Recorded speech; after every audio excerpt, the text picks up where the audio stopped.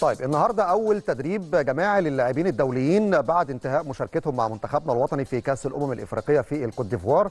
والنهارده في المران كل اللاعبين الدوليين اللي كانوا مع منتخبنا الوطني انتظموا في التدريبات الجماعية. وكانت في راحة سلبية لكل اللاعبين في الفترة الأخيرة. قدام كان قدامكم على الشاشة شايفين رضا سليم عمر كمال عبد الواحد محمد عبد المنعم محمد هاني إمام عاشور. يعني كل اللاعبين الدوليين النهارده انتظموا في التدريبات الجماعية. شايفين كمان محمود عبد المنعم كهربا. قدامنا كمان اهو حسين الشحات. الحمد لله يمكن نقدر نقول النهارده اكتملت الصورة في تدريبات النادي الأهلي الجماعية استعدادا لمواجهة شباب بلوزداد يوم 16 فبراير الساعة 9 مساء بتوقيت القاهرة.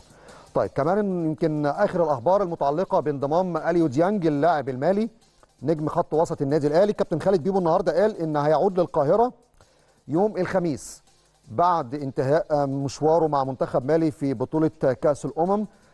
يعني ديان كان بيلعب مباراه يوم السبت خد اجازه حوالي ست أيام وهيرجع للقاهره يوم الخميس عشان ينتظم في التدريبات الجماعيه يوم الجمعه.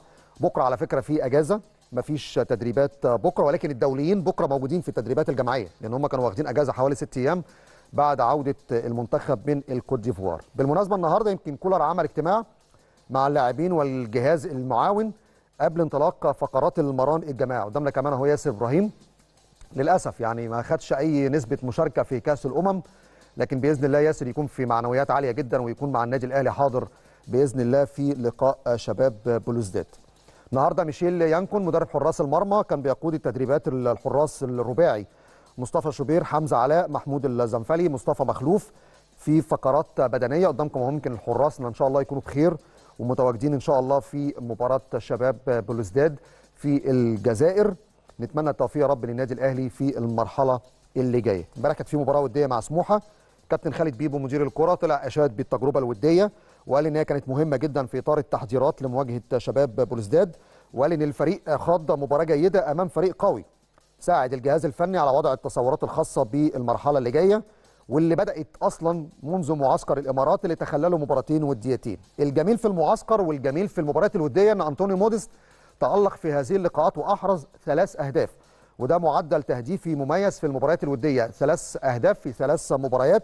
نتمنى نشوف ده بقى بشكل رسمي في المباريات الرسمية. النهاردة محمد الشناوي على فكرة كان متواجد في المران عشان يبدأ يشوف مع الجهاز الطبي مراحل البرنامج التأهيلي وغالبا بنسبة كبيرة الشناوي هيعمل تأهيل في الفترة اللي جاية تحديدا ممكن بنسبة كبيرة في قطر لأنه عايز يعني يقدر يخلص بسرعة مرحلة التأهيل عشان يتواجد مع النادي الأهلي بإذن الله قبل شهر خمسة. مهم جدا إن يعني محمد الشناوي يتواجد مع الفريق في الفترة اللي جاية وبالتأكيد يعني بيدعم كل زملائه حراس المرمى. كان النهارده كانت في قياسات بدنية وطبية على فكرة للاعبين الدوليين. بعد فترة الراحة كان لازم تتعمل قياسات لكل اللاعبين النهارده الدوليين خاصة بعد فترة الراحة وعودتهم من المشاركة مع المنتخب الوطني في الفترة الأخيرة. ودي كانت تصريحات مهمة من الدكتور أحمد جاب الله طبيب فريق النادي الأهلي.